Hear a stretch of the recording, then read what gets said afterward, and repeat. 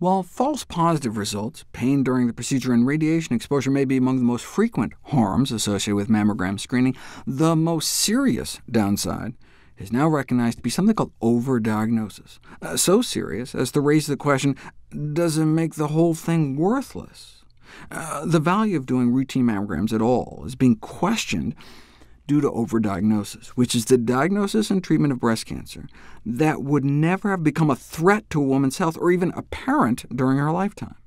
See, people think that once you have a cancer cell in your body, it will progress predictively and inevitably to a terrible death. And that's simply not true of most cancers. Uh, some cancers may outgrow their blood supply, become starved and wither away. Others may be recognized by our immune system and successfully contained and some are simply not that aggressive in the first place. Meaning, yeah, it may continue to grow unchecked, but so slowly that it would be like 200 years before it was big enough to cause any problems, and so in effect, you die with your tumor instead of from your tumor.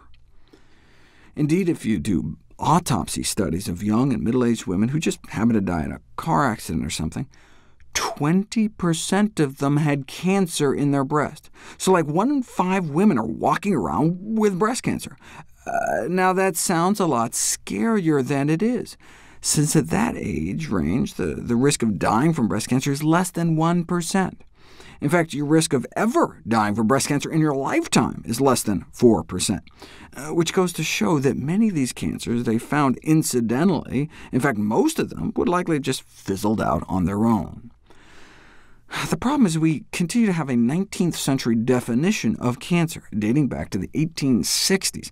Uh, see, cancer is defined by what it looks like under a microscope, not by what its subsequent behavior is. Uh, so yeah, using that definition, one in five of these women technically had cancer, like this 30-year-old here, but that doesn't necessarily mean it would go on and do anything. The question then becomes, if it's so common, do you even want to know about it? Uh, if it's going to progress and cause a problem, then definitely. Catching it early could save your life. But if it's never going to grow, if it's going to remain microscopic, then finding it could actually be bad for you. Uh, they'd be like, look, you have cancer. We have to treat it, surgery, chemo, radiation, whatever it takes. Then you'd suffer all the, the physical effects of treatment, the psychological hell of fearing for your life, all completely unnecessarily, if in fact it was never going to cause a problem. That's overdiagnosis. These kinds of car accident-type autopsy studies show that between 7 and 39% of women ages 40 through 70 are walking around with tiny breast cancers. 30 to 70% of men older than 60 have prostate cancers, and up to 100% of older adults have microscopic cancers in their thyroid glands. Yet only 0.1%, 1 in a thousand, ends up suffering or dying from thyroid cancer. Um, normally it just sits there, doesn't do anything. Likewise, even though the majority of older men may have tiny cancers in their prostates or a significant number of women in their breasts, the lifetime risk of death or cancer spread is only about 4%.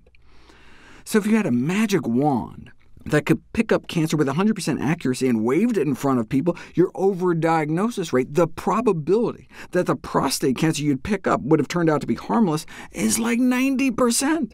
And nearly every single thyroid cancer, and a significant proportion of breast cancer cases. That's why screening for these cancers can be tricky, or even potentially dangerous, since in many cases, sometimes most cases, you have been better off if they had never found it. Now, this is not true for all cancers. Uh, there's little evidence of overdiagnosis for cervical or colorectal cancer, for example. Those cancers do seem to just keep growing, so the earlier you catch them, the better. So, institute pap smears, and cervical cancer death rates plummet.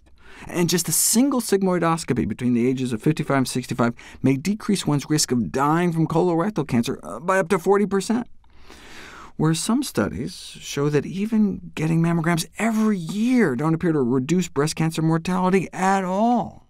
But if we assume a 15% drop and a 30% overdiagnosis rate, which is what most studies have found, then that would mean for every 2,000 women invited for mammograms for 10 years, one will have her life prolonged, and 10 healthy women would be overdiagnosed. In other words, they would not have had a breast cancer diagnosed if they had skipped screening, but were instead treated for breast cancer unnecessarily. and about 1,000 would have gotten false alarms, which can be stressful while you wait for the results. But the harms caused by becoming a cancer patient unnecessarily can be lifelong, and even mean a shorter life. It's important to be aware that some of the needlessly treated women will die from that treatment. For example, radiation treatments can't help but penetrate down into the heart as well, increasing the risk of the number one killer of women, heart disease.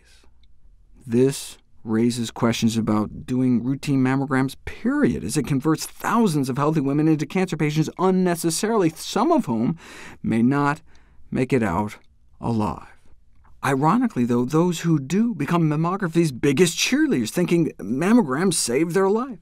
The mammogram found a cancer didn't even know you had. And, and yeah, the treatment was rough surgery, radiation, drugs, but it worked. Life was saved, thank God. She got that mammogram, you should too. Whereas actually, the more likely scenario, in fact, maybe the 10 times more likely scenario, is that the treatment didn't do anything since the cancer wouldn't have hurt you anyway. So you went through all that pain and suffering for nothing. That's the crazy thing about mammograms. The people who are harmed the most are the ones who claim the greatest benefit.